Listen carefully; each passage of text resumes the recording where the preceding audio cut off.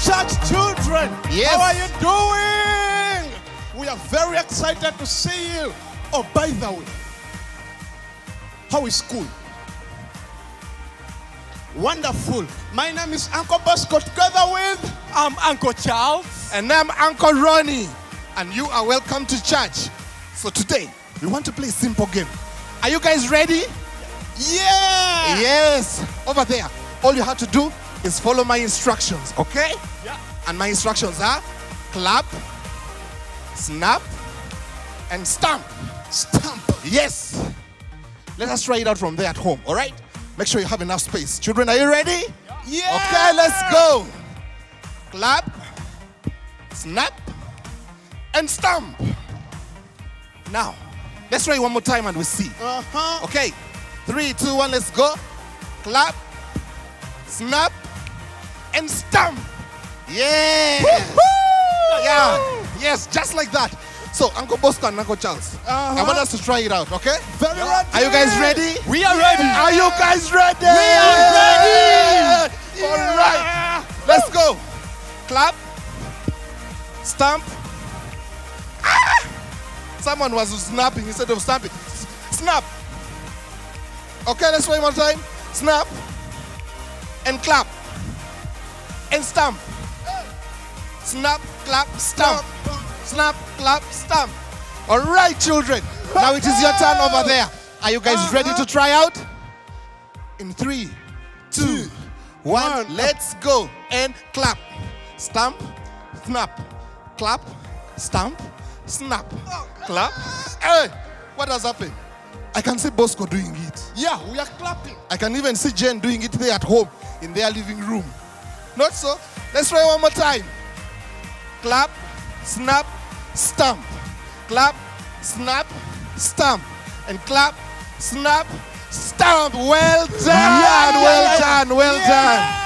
I hope children had a lot of fun today. For the rest of the fun, let us join the praise and worship team. Okay, Uncle Bosco. Hi!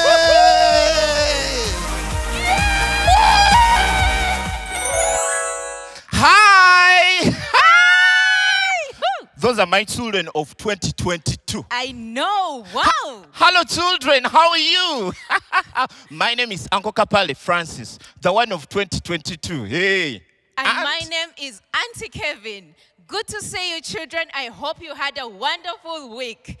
Now, let's pray as we start the service. Heavenly Father, we thank you for today. We thank you for life. As we come in the service today, Lord Jesus, give us energy to dance to you. For in the name of Jesus, we have prayed and believed. Amen. Now, children, get up, get up, get up, get up, get up. We are going to dance. Prepare those strokes. Uh-huh. Huh? Let me see your Come strokes. On. Let me see your strokes. Uh-uh. Let's go then. I'll show you. Okay, let's go. Woo! You're welcome to church. Come on, rise up on your feet. Together. As we're ready, we clap our hands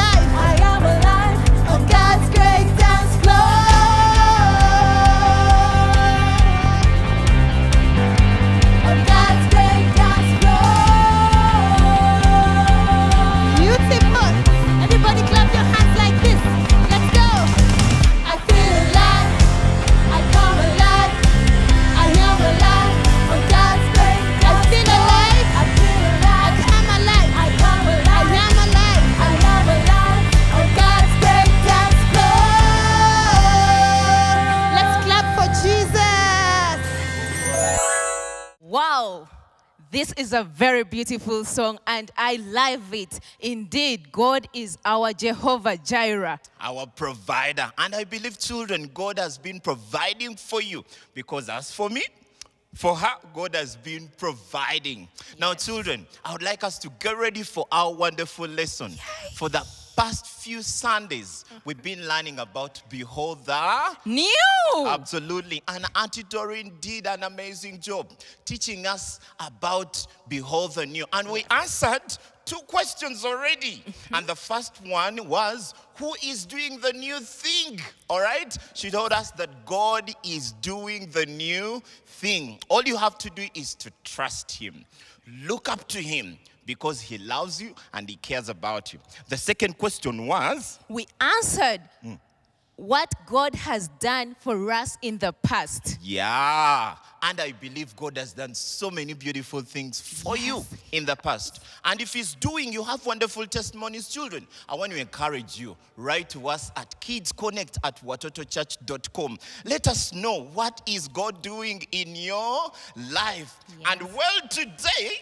Hmm. today, Today. we are going to answer question number three. Three. Eh? Mm-hmm. Now watch out. Get mm. ready. Just get your notebook, your Bible, your pen. Auntie Doreen is ready to teach us question number three. Hello, children. What a privilege to be in God's house today. Are you excited to be in God's house today? I am so excited to be here. My name is Auntie Doreen, and I'm glad to be here to, to teach God's word.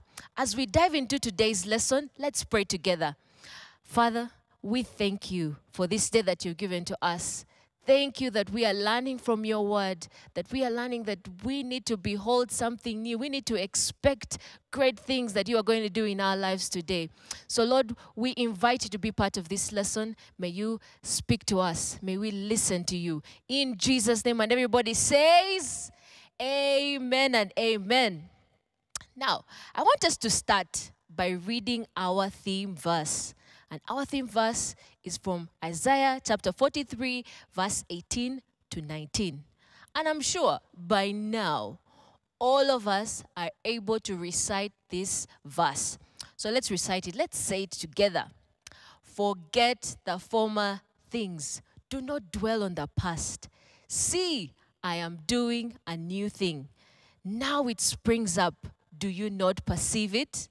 I am making a way in the wilderness and streams in the wasteland.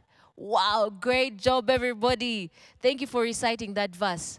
Well, children, behold something new that God is going to do for you this year, 2022. And so far, we've answered two questions. Remember, at the beginning, I gave you three questions, and we're able to answer the first question Who is asking us to behold the new? And we found out and discovered that it was God. God is telling us to behold the new. And last week, we answered the second question that was, What has God done in the past? And we discovered that He's done great things. So today, we're going to answer our next question.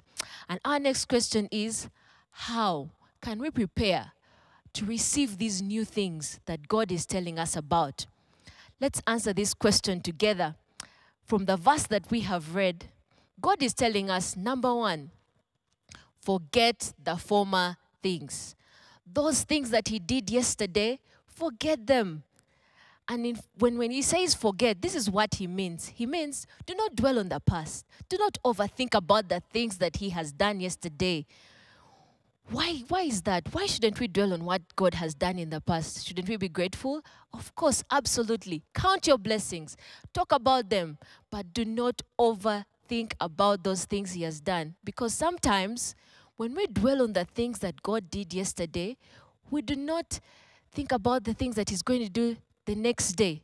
We're not expectant. We're always thinking about, oh, He did this for me. You know, like how sometimes when mommy does something for you yesterday, say, I want mommy to do the, the chicken like how she did it yesterday. But mommy says, No, today I'm going to do something new, something different. And she cooks the chicken differently. And mm, mm, mm. You say, Wow. And that's the same thing that God wants to do for us. He did great things yesterday, and He wants to do even greater things tomorrow. So we need to learn to forget and be expectant for more, for greater things that God is going to do for us. Now, at the time God spoke to the Israelites, they were in captivity, just like I said. They were surrounded by their enemies, the Assyrians and Babylonians. And God is still, and, and they thought, you know, when God says, Behold the new, it means He's going to rescue us, like, you know, what He did to the Egyptians. He's going to bring, bring plagues and all those things. But no, that's not what God did. God did something new. He brought Jesus. Jesus came, His Son came. And he came not only to save the Israelites, but to also save each and every one of us. And so when we accept Jesus as our Lord and Savior, we become his children, just like the Israelites. So, children, behold, God is going to do something new. Be expectant. And God is going to do it differently, very different from what He did yesterday. Expect a new way that God is going to do it. Remember the time when Jesus was healing people? There were two different stories in the Bible about two blind men. The first blind man, God healed him by just touching his eyes, and he was able to see. When the next one came, God told him, Go and get mud, mix it with. He spat, sorry, Jesus spat uh, on, on, his, on, the, on the ground, mixed it, and put it on his eyes. And he told him, Go and wash in the water. And guess what? He was healed.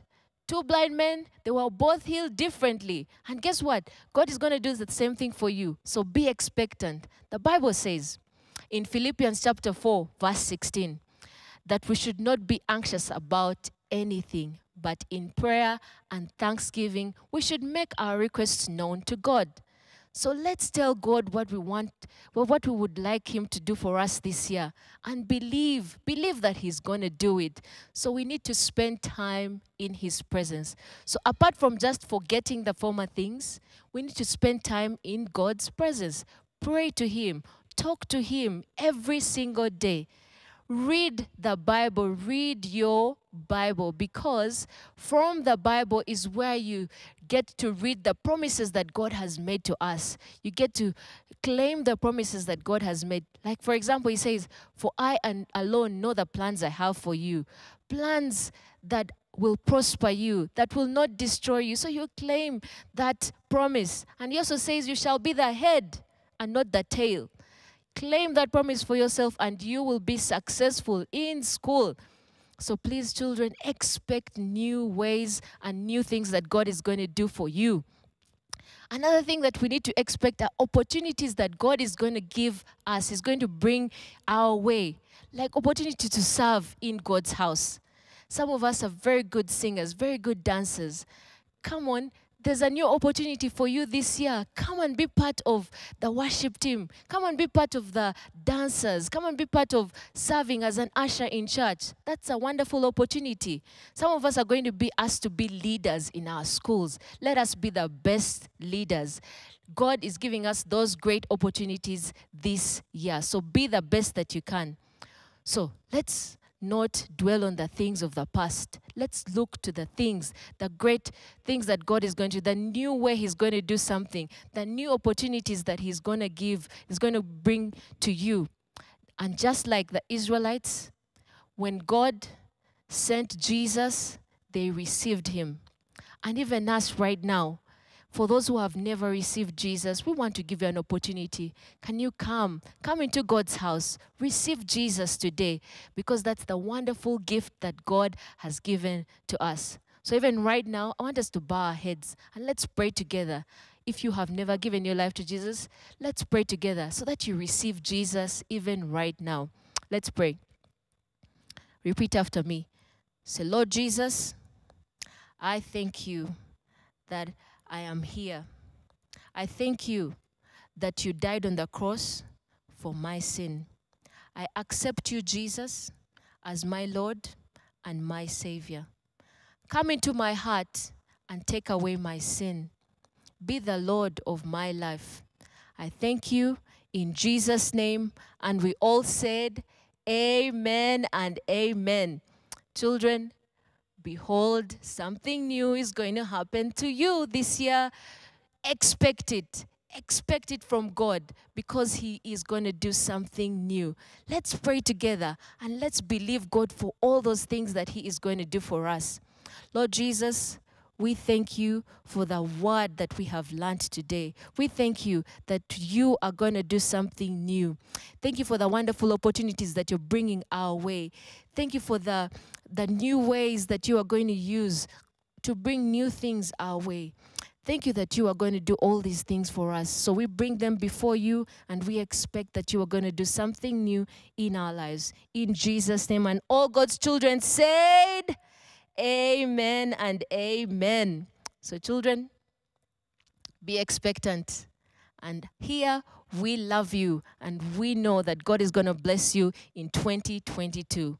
Bye bye. Wow. Children, that was an amazing lesson. Auntie Doreen, thank you so much. Indeed, we should expect a lot because God is doing something new in our lives. He loves us. He has wonderful plans for each and every one of you. Well, children, I want us to learn our memory verse. And it's still the same memory verse. Yes, it has not changed. So what we're going to do, we are going to say it together. Yeah? Isaiah chapter 43, verse 18 to 19.